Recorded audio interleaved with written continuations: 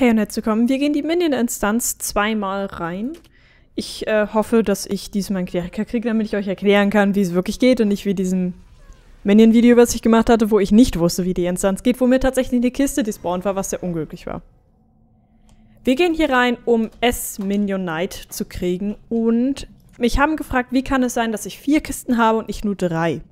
Wenn ihr den Typen in der Mitte auswählt, dann werdet ihr random in einen der drei Wege reingeführt. Also Gladi, Templar, Kleriker. Und wenn ihr das macht, bekommt ihr am Ende eine Kiste dafür, dass ihr die zufällige Kiste gewählt habt. Geil, ich bin Gladi. Auf jeden Fall schaltet das Loot an, vor allem wenn ihr Gladi sind, seid und tötet so viele Mobs wie möglich. Es ist nämlich so, dass auch innerhalb der Minion-Instanz der gesamte Loot, das bedeutet, ähm, Kaisinel, Pot, Pot, ne, nicht Vertrag, legendärer Vertrag, uralter Vertrag, ähm, vor allem weitere Minions, Level 4 Minions, droppen können. Und ähm, damit ich hier nicht alles selber looten muss, um äh, mich die ganze Zeit zu bücken, ist einfach mein Minion an, das lootet für mich und äh, damit ist das für mich durch. Vor allem, wenn man Gladi ist, ist das sehr einfach, möglichst viele Mobs zu machen. Ich muss ganz ehrlich sagen, als Kleriker und auch als Templer ist es ein bisschen stressiger. Templer geht, Kleri ist richtig ätzend. Ähm, also beim Kleri alle zu machen, ist halt einfach nur dumm. Hier, was ihr jetzt als Gladi machen müsst, eben musstet ihr halt die Mobs töten. Und hier müsst ihr drei Bomben sammeln, damit ihr die Tür hinten sprengen könnt. Das heißt, wir könnten jetzt aufhören mit den Mobs, aber ich nutze ja aus, dass wir Gladi sind und wir uns äh, durch alle Mobs durchdrehen können und macht das hier fertig. Übrigens, wenn ihr Kleriker seid, ist es so, dass hier ein Mage ist, der einen anderen Namen trägt. Im Deutschen sind überall Kampfmagier und ein normaler Magier. Da müsst ihr den normalen Magier töten. Im Englischen ist es so, dass überall Battle Mage sind und irgendwo steht ein normaler Mage. Den müsst ihr dann erledigen. Und dann ähm, ist es das damit. Ihr müsst diese ganzen Sachen alle zügig durchziehen, denn wenn nicht, klaut euch am Ende, so wie in einem Video, das ich gemacht habe, euch ein Minion eure Belohnung. Und das ist doof. Und hier müsst ihr jetzt kurz Waffe einstecken, damit ihr das benutzen könnt. Oh, fünf? Okay, fünf, egal. Und dann könnt ihr die Tür aufsprengen. Und dann könnt ihr zum S-Boss gehen. Also ihr seht, ähm, mit einem Gladi ist das sehr einfach. Was ihr durchaus machen könnt, ist nebenbei immer schön vor allem tickende Pots nehmen. Erst recht, wenn ihr Kleriker seid, Leute, das ist Mana-intensiv.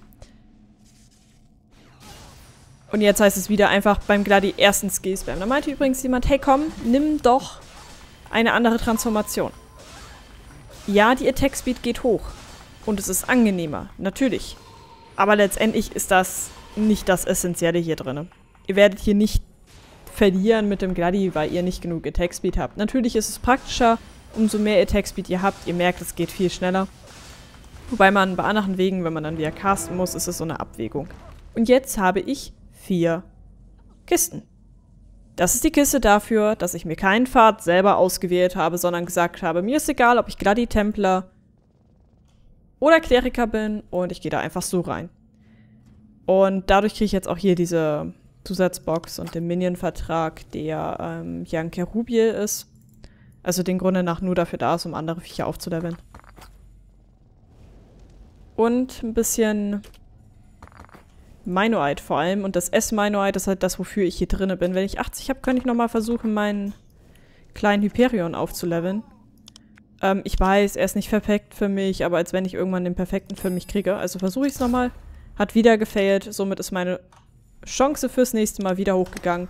Leute, es ist nur eine Frage der Zeit, bis ihr eurer S-Minion hochlevelt, bis es dann Level 2 ist. Ihr könnt natürlich Glück haben und schon bei sehr niedrigen Prozentsätzen haben, aber auf der anderen Seite, als wenn, Deswegen ist es voll okay, ein bisschen zu warten, häufiger das zu versuchen und, und, und. Natürlich, ähm, wenn ihr gerne grindet.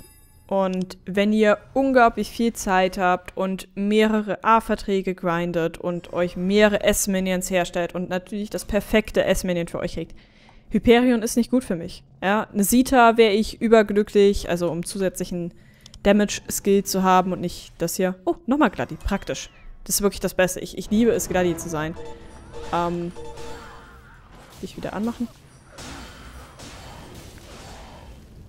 Sita ist ideal und vor allem, ihr habt dann auch zusätzliche Untertypen. Also beim Hyperion gibt es Hyperion of Challenge oder Hyperion of Combat, meine ich, heißt der andere.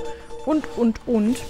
Und die haben alle zusätzliche Zusatzstats. Er hier hat PvE-Dev, den er mir als zusätzlichen Stat gibt. Und er hat auch nicht so viel Magic Attack wie der auf Combat oder wie auch immer der andere heißt, der Offensive. Das ist natürlich doof. Aber ich sehe es so. Ich werde niemals im Leben... Ach, ich bin am Sieb. Ich werde niemals im Leben so lange farmen, dass ich das Perfekte kriegen könnte. Es kann natürlich immer per Glück passieren, dass ich irgendwo mal einen A-Vertrag droppe und dann die kombiniere und hey, einen weiteren S kriege. Aber jetzt mal ehrlich, als wenn. Ah, sorry, ich musste niesen. So, jetzt geht's weiter. Ähm, oh, voll kann die Maus verrissen. So, wieder dann denken hier zu looten, beziehungsweise halt Loot-Mule an, Leute. Geht in den Goldsand-Shop, kauft das Item, um euch das Loot-Mule aktivieren zu können. Das ist wirklich das Wichtigste überhaupt. Ihr verliert so viel guten Loot, wenn ihr dieses Loot-Mule nicht laufen lasst. Und es ist so viel praktischer, als sich im Open immer wieder zu bücken nach Mobs. Ich hasse das. Also wenn ich schon grinde, dann aber bitte mit Loot-Mule und nicht ohne. Ähm, das wäre mir echt zu lästig. Und man kann alle, oh, ich würde sagen zwei Wochen, ah, wobei wir hatten jetzt den Reset, ist ein bisschen verfälscht. Ähm, ihr merkt übrigens Mana-Probleme, ne? Es ist intensiv. Ähm, alle zwei, drei Wochen seid ihr in der Lage, ein... Kann ich bitte... Hallo? Danke. Ein S zu leveln versuchen. Habt ihr genug S-Minoite? Wir können mal gleich gucken. Es ist immer unterschiedlich, wie viel ihr pro Run kriegt. Also ihr könnt einen ganz glücklichen Run haben, da habt ihr irgendwie um die 60 oder so. Und dann könnt ihr auch so um die 30 kriegen. Deswegen ist es ein bisschen abhängig davon, wie viel Luck ihr habt. Ich bin nicht immer die luckigste Person. Sagt man es überhaupt so? Keine Ahnung. Die Person mit dem meisten Glück. Machen wir es auf Deutsch. Die glücklichste Person. Mit dem unverschämten Glück aber auch. Wobei, mein Drop war echt unverschämt im Grind-Video, was ich gemacht habe. Aber auf der anderen Seite, seitdem habe ich nichts mehr gedroppt, also... Hm. Es ist alles von bis. So, Boss ist tot. Wir können hier nochmal looten. Können dieses Mal ein bisschen aufpassen, wie viel Minoite wir kriegen. Ich resette hier mal. Hier natürlich nichts. Da haben wir wieder das Fragment. Äh, demnächst kann ich mir auch wieder einen uralten Vertrag herstellen. Dann haben wir hier 10 drin gehabt. Ja, 10. Ah, könnt ihr hier gucken. Dann hatten wir hier 25, äh, 15 in dem einen und hier nochmal 10. Das ist halt super. Ach, der Nachteil ist nur, ich kann es nicht nochmal laufen. Ja, es sind zwei Runs. Ihr könnt sie... Kann man sie zurücksetzen? Wieso, wieso ist der hier nicht weg? Ach, der ist da unten. Oh, hab ich den gar nicht irgendeine Tower of Challenge Zeug hier. Habe ich den gar nicht ausgewählt? Also, packt euch die wichtigen Instanzen bitte immer in die Favoriten rein. Da. Hä? Da unten, so. Ja, nee, es ist angeblich, übrigens, übrigens, ganz wichtig. Sonderwartung in der Nacht, dieser Nacht.